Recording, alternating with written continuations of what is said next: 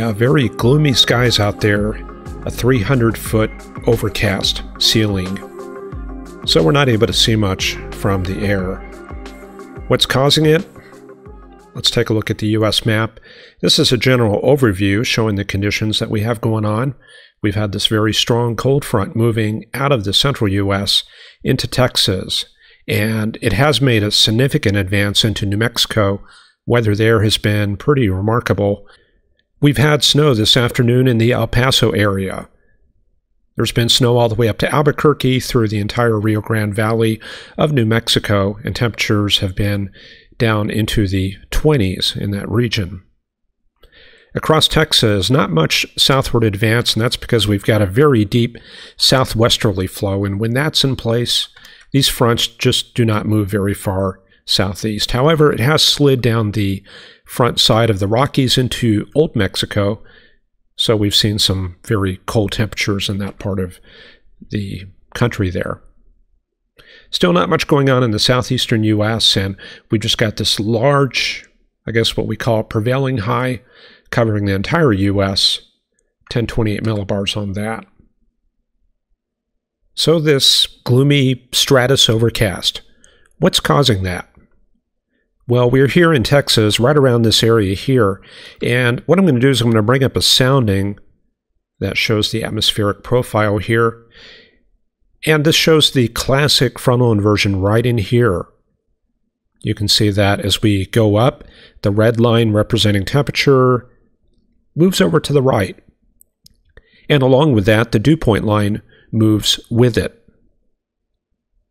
So this air mass is topping out in our area at about 3,000 feet, what's happening is we've got a lot of tropical moisture right above the frontal surface. There's this area of 50 degree dew points. Now, this tropical layer above and the cold air below, they do interact some. And what we see is some moisture being carried down into the cold air and and because that cold layer cannot hold much moisture, we get saturation very quickly and we form cloud material all the way down almost to the surface. And there's how it looks from above. The vast majority of that low overcast is going to be all this white stuff, but you can see that above that, there's these middle and higher elements. Now, some of that is going to be shower activity, and that's one way you can bring and that's one way you can bring moisture down into the lower levels through precipitation. And out there in New Mexico, yeah, you can see the spin to the air right there. That's a mid and upper level low pressure area. So that's going to be the main upper level low. So it's not going to be over until that thing passes. And then down there in the Gulf, we've got more trouble heading for the U.S. That's Tropical Storm Zeta, which has crossed the Yucatan and has emerged out into the Central Gulf. The latest information on Zeta shows it's not a particularly strong storm, 55 knots on that, 985 millibars. The track has not changed much, maybe a very slight eastward shift. That puts New Orleans on the west side of the path, which of course is good news for them. However, this is of more concern for Biloxi and Gulfport, since they're going to be on the eastern side with more potential for storm surge. Peak surge looking for 5 to 8 feet, and that's mostly going to be there in the Biloxi Gulfport area and the official forecast carrying that into the coastal region as a Category 1 hurricane. And just as a reminder, the effects of the hurricane not only wind, but of course, storm surge, and that'll probably be our main concern. Landfall, that's going to be tomorrow evening, late afternoon and evening, and the European model going pretty much for the same scenario, maybe slightly slower on that. European model going for a landfall at about 6 to 7 p.m. And it looks like the worst of it will be hitting the Mississippi coastline about 9 to 10 p.m. And very rapid advance inland. So by dawn, it's already going to be northwest of Atlanta. Here's a quick look at the pattern looking at the 300 millibar chart. So this is up near the top of the troposphere. This is showing that upper level low there over Arizona. This represents a huge chunk of cold air across the southern Rockies. But if you look at the wind components, there is just not much southward transport of cold air out of Canada. In fact, that pretty much just clears up there as we get into Wednesday and Thursday. So, what we're going to be contending with is this cutoff low pulling out into Texas, Arkansas, and Oklahoma. So, we should see the weather pattern get kind of active there over the next day or two. Maybe a chance for some showers and thunderstorms. And then that low opens up into the Appalachians around Friday. And then we're going to see some weather on the East Coast for Friday, and then things should quiet down. The next weather maker is going to be this large wave moving through the western Canadian provinces over the weekend. And you can see that trough does deepen.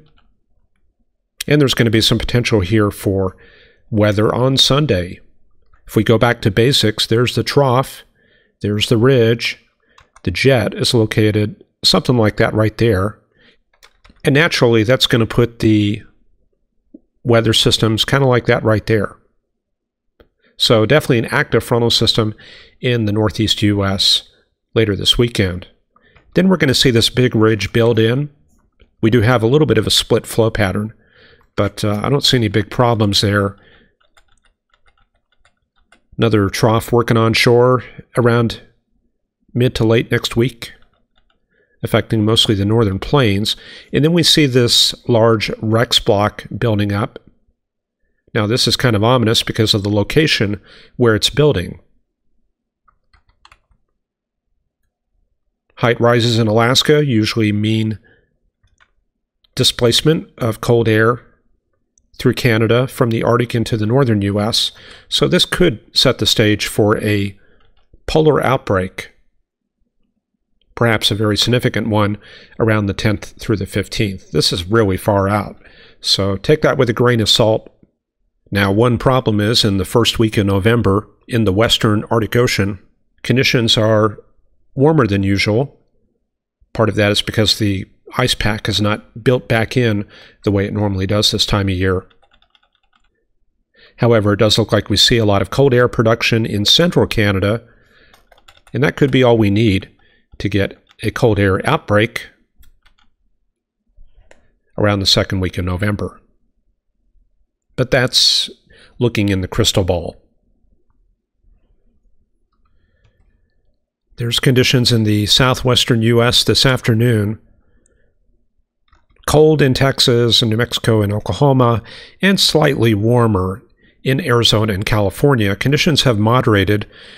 We have remember yesterday, I don't know if, if you were with us on the supporter stream yesterday, we were talking about that huge windstorm that was going down the Colorado River Basin.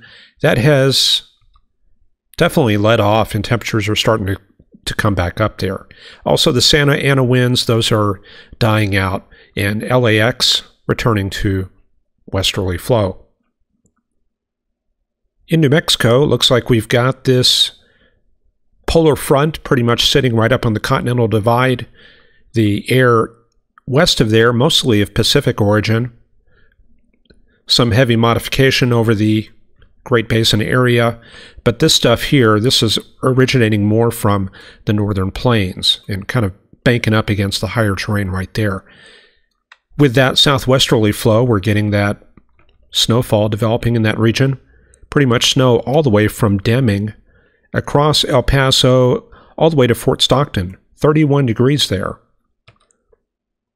And further north, little freezing rain being reported around Lubbock. That's indicating that there is some warmer air working in maybe up around the 850 to 700 millibar level.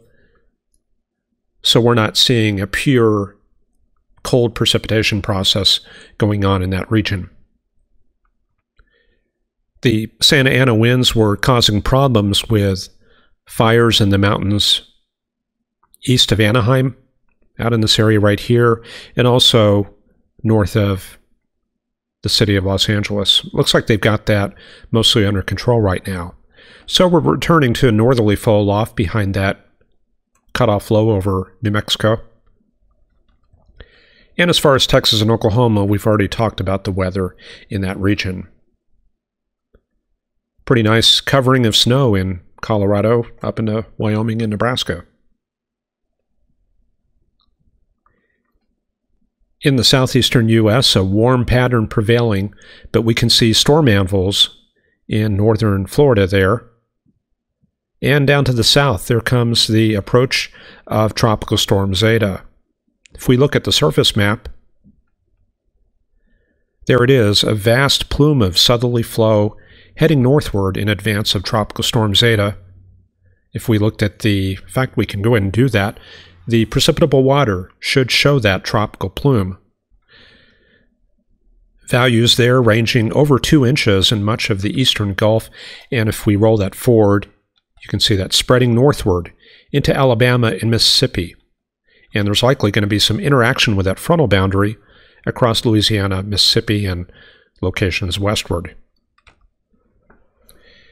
And further west, there's that frontal boundary. It's not making much progress south, except in South Texas there.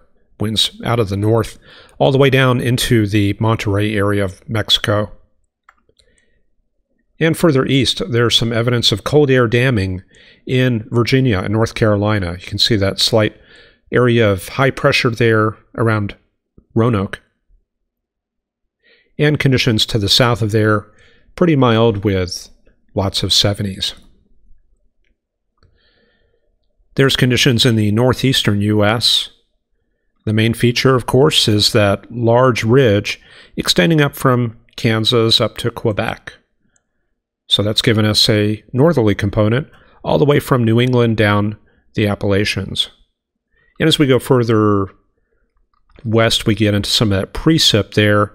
That's the so-called overrunning due to the southerly component in the mid-levels of the atmosphere. On the satellite, it's pretty clear we've got jet stream energy working through the Midwest into the northeastern U.S., so that's going to amplify a lot of the vertical motion, and as a result, we're going to get patches of showers here and there. Also, this is bringing up precipitable water. And there it is. We can see that precipitable water there, the strong southwesterly winds bringing that moisture up into the Midwest. I can drop a sounding on Indianapolis. And we can see extensive moisture all the way from 5,000 up to about 25, 30,000 feet. So quite a bit of depth of humid air. And finally, the northwestern U.S. this afternoon. Downslope flow, strong westerlies in Alberta, Saskatchewan, and Montana. There it is. And with the increase in the upper level westerly component, we're seeing the lee side trough becoming reestablished. Down to the south, the remainder of that cold air kind of locked into some of the valleys, sitting over the Great Basin region, modifying very slowly, and returning to a typical fall pattern very slowly. Temperatures have really come up, lots of 50s showing up in the western U.S.